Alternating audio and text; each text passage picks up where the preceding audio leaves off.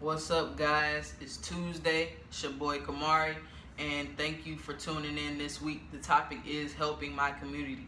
So, a few ways that I feel like I can help my community is through my um, fitness company that I run called Kombat Fitness.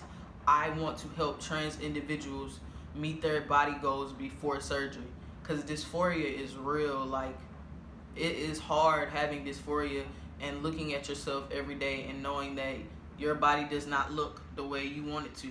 So, if I can help you physically meet that goal or get as close to that goal as possible, that's something that I want to do. That's what I have a passion for. So, hit me up at KOMBAT.fitness on Instagram.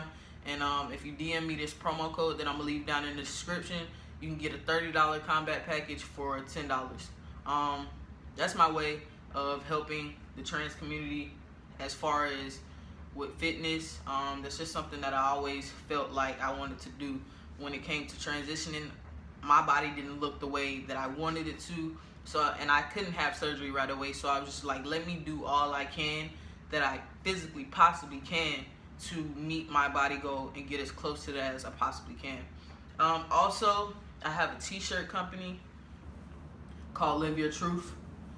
On the back of the t-shirts, they say transform. Um, basically, behind that, I created that to help raise money for trans individuals having top surgery, even the trans women.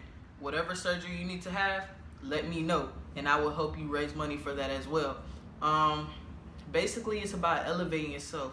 You know what I'm saying? Like, come out, live your truth, be you, and don't live in fear. You know what I'm saying? Stay true to yourself. That's all you can do.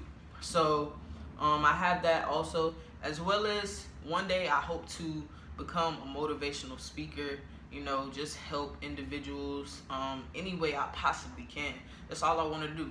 So also you can hit me up on Instagram, on my personal Instagram, if you have any questions, you know, you want answered, I'll do my best, you know what I mean? Um, this video was quick, I'm sorry, but those are a few things that I felt like I could give back to my community because I absolutely love my community and I was so accepted and brothers helped me along the way on my journey. So if I can give that back, that's something I want to do. So just hit me up, you know what I'm saying?